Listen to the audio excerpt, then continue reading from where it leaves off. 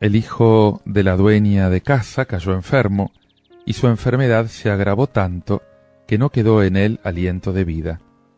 Entonces la mujer dijo a Elías, ¿Qué tengo que ver yo contigo, hombre de Dios? Has venido a mi casa para recordar mi culpa y hacer morir a mi hijo. Dame a tu hijo, respondió Elías.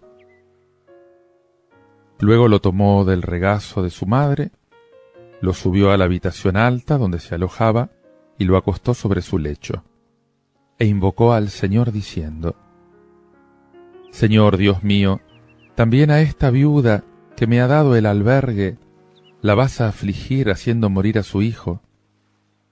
Después se tendió tres veces sobre el niño, invocó al Señor y dijo, Señor Dios mío, que vuelva la vida a este niño. El Señor escuchó el clamor de Elías. El aliento vital volvió al niño y éste revivió.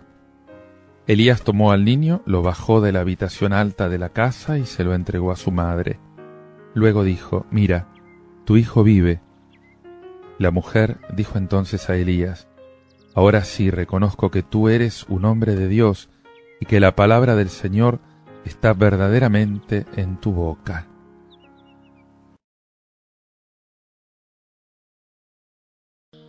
Te invito ahora a que ores conmigo con el Salmo 29, repitiendo esta antífona que dice, Te ensalzaré, Señor, porque me has librado. Te ensalzaré, Señor, porque me has librado, y no has dejado que mis enemigos se rían de mí. Señor, Sacaste mi vida del abismo, me hiciste revivir cuando bajaba la fosa. Te ensalzaré, Señor, porque me has librado. Canten al Señor sus fieles, den gracias a su santo nombre, porque su enojo dura un instante y su bondad toda la vida.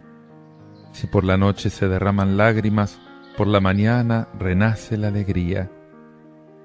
Te ensalzaré, Señor, porque me has librado. Escucha, Señor, ten piedad de mí. Ven a ayudarme, Señor. Tú convertiste mi lamento en júbilo.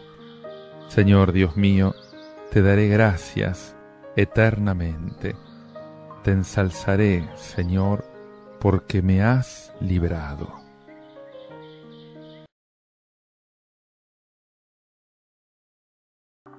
Quiero que sepan, hermanos, que la buena noticia que les prediqué no es cosa de hombres, porque yo no la recibí ni aprendí de ningún hombre, sino por revelación de Jesucristo. Seguramente ustedes oyeron hablar de mi conducta anterior en el judaísmo, cómo perseguía con furor a la iglesia de Dios y la arrasaba, y cómo aventajaba en el judaísmo a muchos compatriotas de mi edad, en mi exceso de celo por las tradiciones paternas.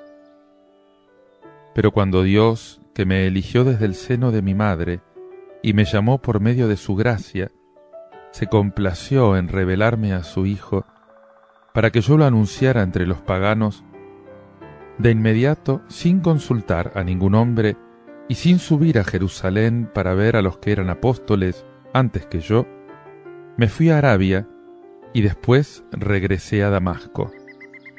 Tres años más tarde Fui desde allí a Jerusalén para visitar a Pedro, y estuve con él quince días. No vi a ningún otro apóstol, sino solamente a Santiago, el hermano del Señor.